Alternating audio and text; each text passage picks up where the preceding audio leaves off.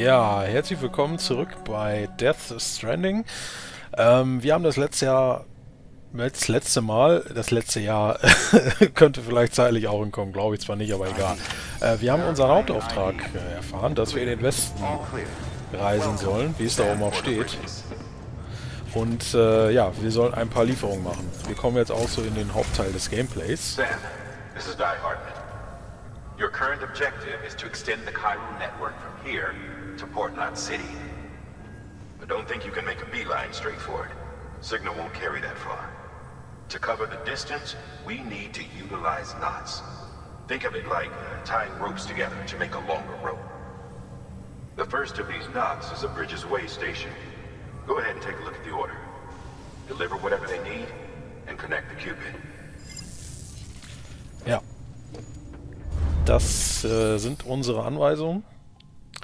So, wir haben jetzt, äh, das ist unser erstes Lieferterminal. Da ist jetzt im Moment nur dieser eine Auftrag zu sehen, denn wir haben ja noch nicht viel, wie der Die Hard Mendoza schon gesagt hat.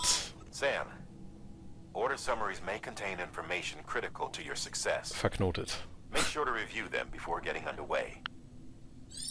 Ja, da stehen auch immer genau ähm, mögliche Gefahren und Risiken, die diese Aufträge mit sich bringen könnten. Ähm, hängt natürlich auch immer davon ab, was für einen Weg man da geht. Ne? Da ist das Spiel ja sehr, sehr offen. Also Planung ist ja immer äh, das absolut Wichtigste bei äh, all den ganzen Sachen. Ja, genauso, was man an Ausrüstung möglicherweise äh, brauchen könnte. Und ja, ähm, das ist eigentlich hier relativ straightforward, würde ich mal sagen. So, da haben wir nämlich auch diese Sachen, diese Nootropika und eine Leiter. Sam, we've supplied you with some rope and a ladder for this run. They should help with the steeper inclines, and the ladder will also make a halfway decent bridge if you need to cross a river. Right now, I figure you're thinking about how you want to handle this order. Ja, da müssen wir auch dann immer ein bisschen flexibel mit diesen Items sein. Ähm, wie er schon gesagt hat, wir haben jetzt hier ein paar Leitern und ein Kletterwerkzeug. Und äh, das, ähm, diese Nootropika, das sind die Sachen, die wir jetzt ausliefern müssen. Das andere ist Ausrüstung, die uns das ganze, ja, der ganze Kampf gegen die Naturgewalten ein wenig erträglicher machen kann. Ja, wie zum Beispiel er auch gesagt hat, dass wir diese Leiter auch als äh, umfunktionierte Brücke nutzen können.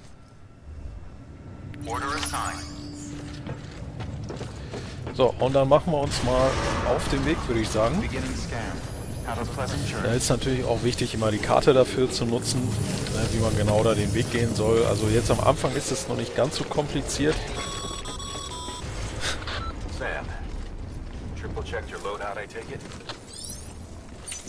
Ja, wie immer.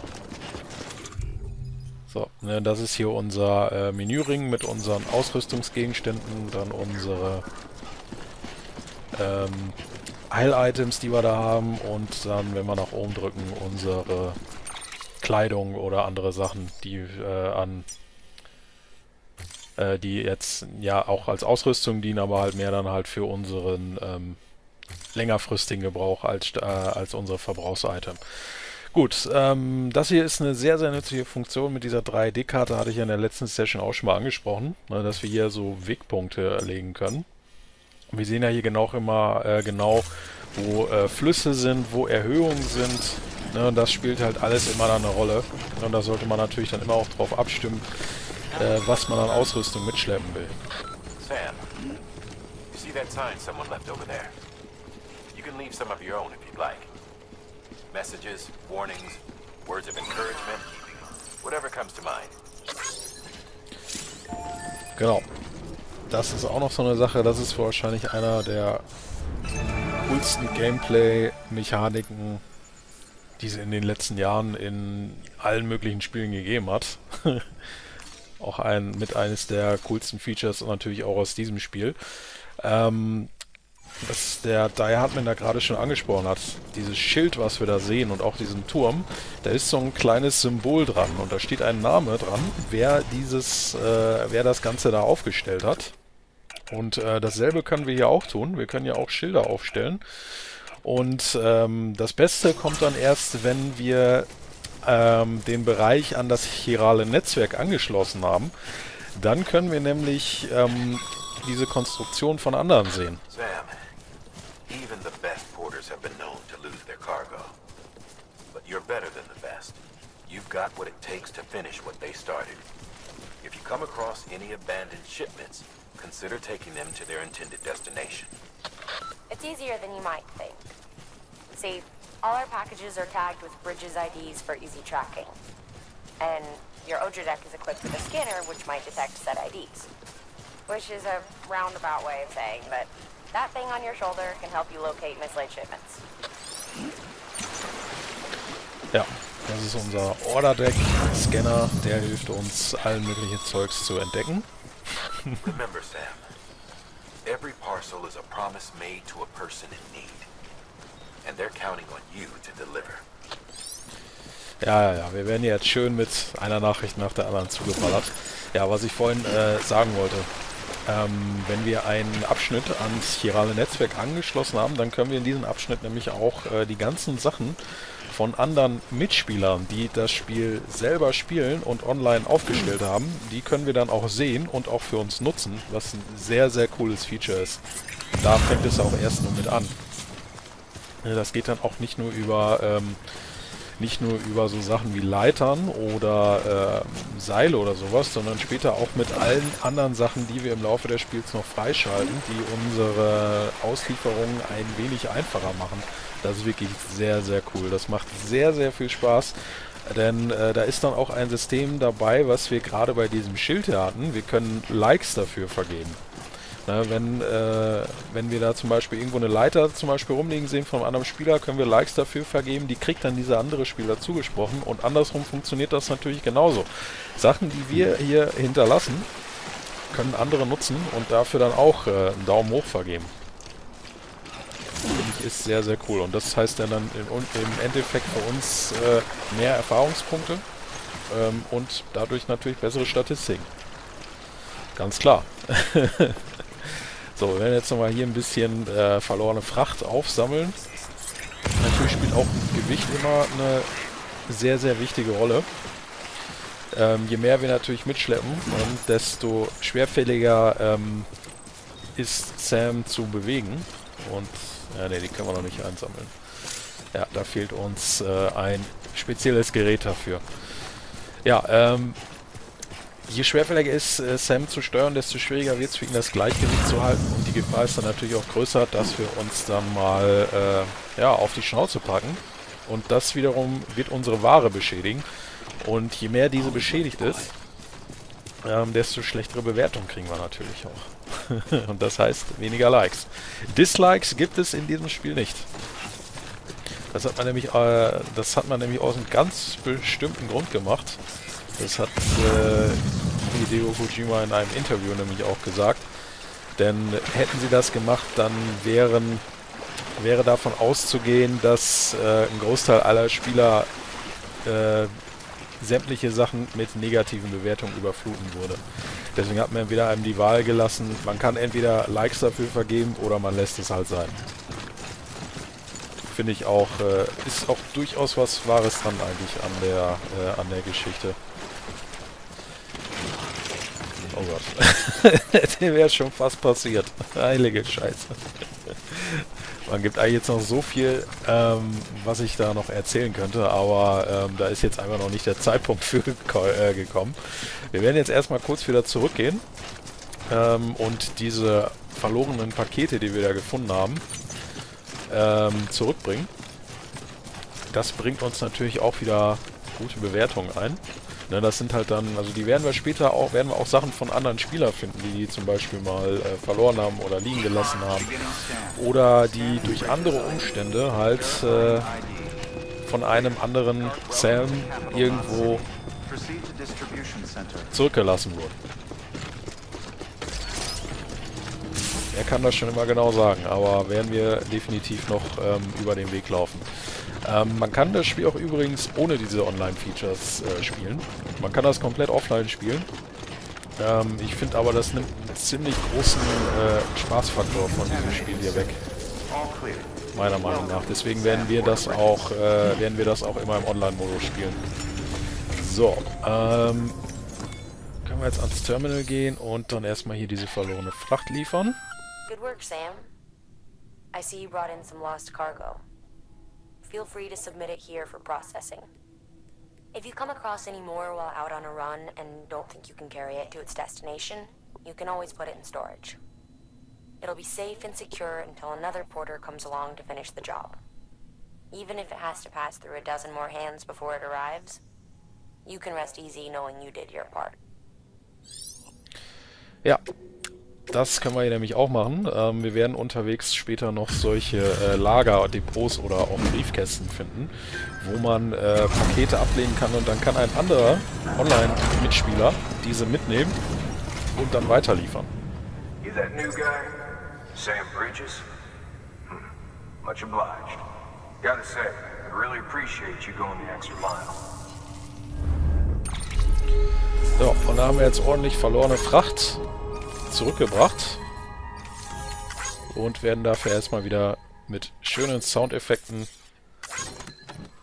und Likes belohnt. Weiß nicht, klingt irgendwie so ein bisschen nach Star Wars Roboter, so R2D2 oder sowas, aber hat auf jeden Fall was. Geschirr, aha.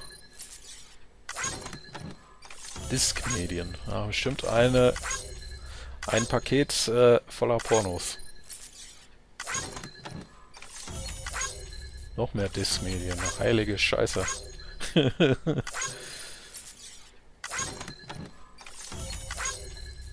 War immer irgendwie ein sehr befriedigender Anblick, äh, diese ganzen Statistiken hier wachsen zu sehen, muss ich ganz ehrlich sagen.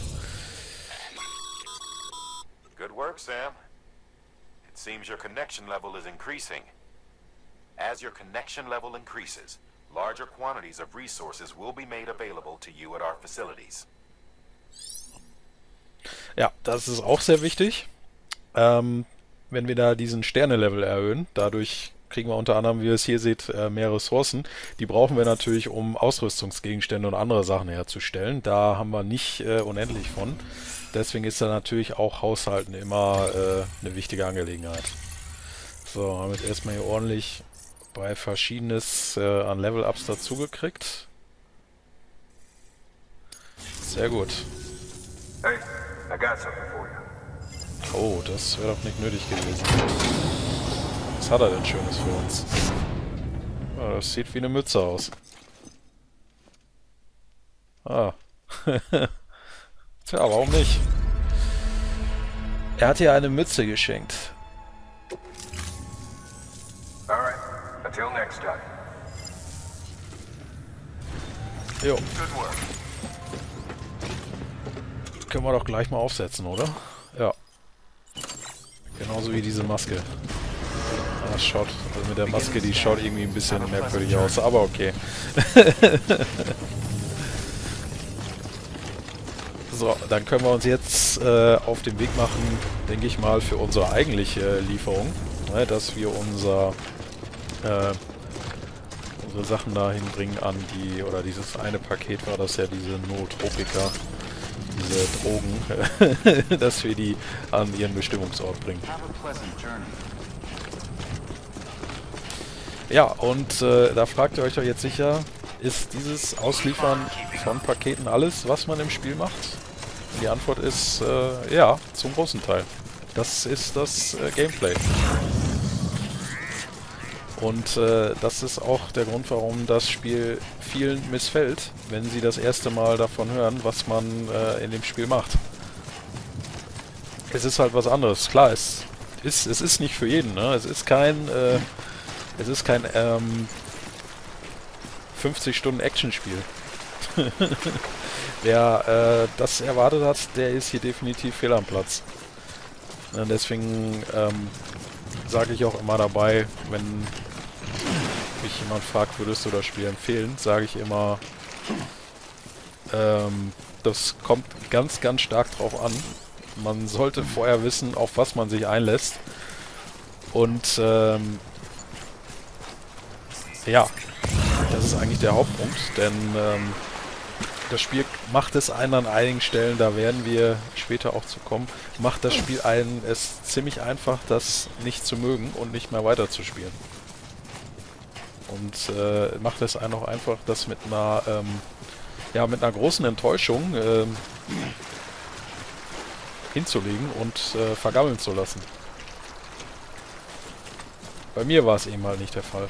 Und das hat, äh, das hat nichts damit zu, mit, äh, damit zu tun, dass es von Hideo Kojima ist, weil das habe ich schon sehr, sehr häufig in vielen Reviews gelesen, wo man echt den Eindruck hat, die sind absichtlich einfach nur verärgert darüber, weil das Spiel von ihm stammt.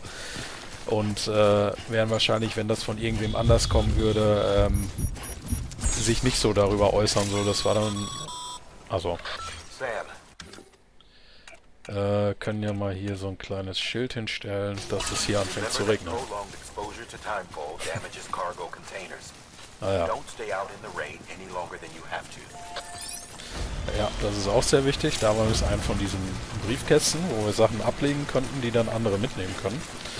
Und ja, jetzt fängt hier der Zeitregen an. Das ist immer natürlich ein schlechtes Zeichen, denn wie der Die Hardman gerade schon gesagt hat, der Zeitregen, der beschädigt unsere Ware. Ne, das ist halt, wie wir ja schon erfahren haben, der lässt die Zeit voranschreiten und das hat Auswirkungen auf so ziemlich alles.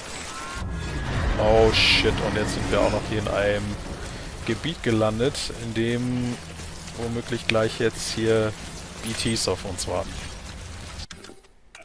Dann stellen wir hier doch mal auch noch ein Schild hin. Und wir werden uns mal ein bisschen vorsichtiger bewegen. Ihr seht das ja auch an diesen Effekten da auf dem Boden. Finde ich immer sehr, sehr schön. Wie schnell die Pflanzen da nach oben wachsen und binnen weniger Sekunden direkt wieder aussterben.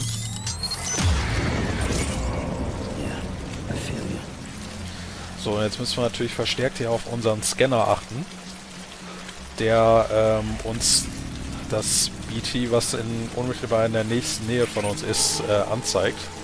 Und äh, wesentlich schneller anfängt natürlich da Signale von sich zu geben, je näher wir dem kommen. Ja, was wir ja auch schon bei dem äh, Verbrennungsofen hatten. Und da ist natürlich sehr, sehr vorsichtig sein. Wir wollen natürlich nicht von denen äh, gefasst werden. Das kann einem einen ziemlich, äh, ziemlich üblen äh, Holzspan in die Pläne werfen. Nennen wir es mal so. Ähm, ja, was ich vorhin noch sagen wollte, ähm, also ich habe wirklich bei, bei vielen so, die sind an dem Spiel rangegangen, so, ja, das ist von Hideo Kojima. Und äh, bei dem Spiel, da müssen wir quasi äh, Kunst im Videospiel als Totschlagargument verwenden. Und wenn das nicht erfüllt wird, ist das Spiel scheiße. Was ich ziemlich merkwürdig finde und äh, auch irgendwie den Sinn dahinter nicht verstehe. Aber naja. Ne, jeder hat ja seine eigene Meinung. Also ich, ich selber ich selber will dieses Spiel auch nicht in Grund und Boden verteidigen und auch nicht sagen, dass es perfekt ist. Das ist es nämlich bei weitem nicht.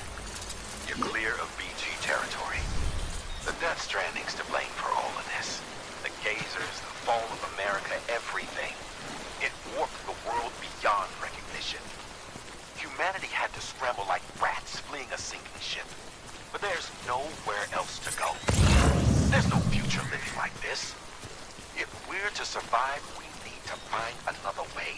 A way to overcome the BTs, the Death Stranding, the whole damn mess.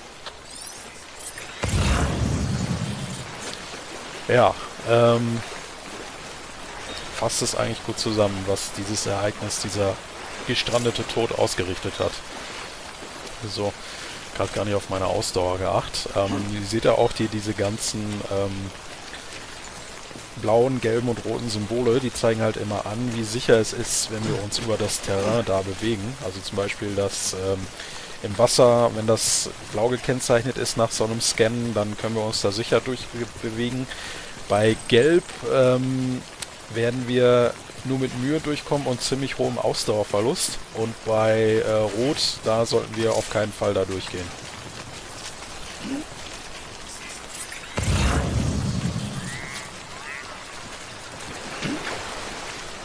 Seht jetzt schon, wenn wir jetzt hier gehen, unsere Ausdauer, die geht wesentlich schneller runter. Und äh, das Baby, unser Bridge Baby, wird dadurch ein wenig mehr gestresst. Alles Sachen, die man natürlich nicht haben möchte.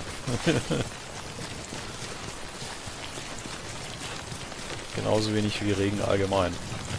Problematisch ist halt auch, weil wir können leider nicht äh, vorhersagen, wo der Regen eintrifft. Das ist nämlich ein äh, dynamisches Wettersystem, was dieses Spiel hat. Aber dazu vielleicht dann zu geeigneter Zeit mehr. so, wir sind jetzt aber gleich am Ziel. Da vorne sehen wir es auch schon. Da ist dieser Außenposten, wo wir das hinliefern sollen. Die Musik beruhigt sich auch ein wenig und der Regen scheint äh, aufzuhören. Wegposten westlich von Capital North City.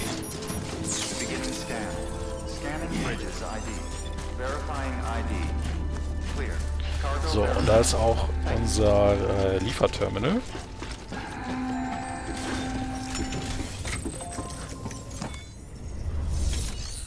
So, und dann wollen wir das Ganze doch mal hier ab, äh, abliefern.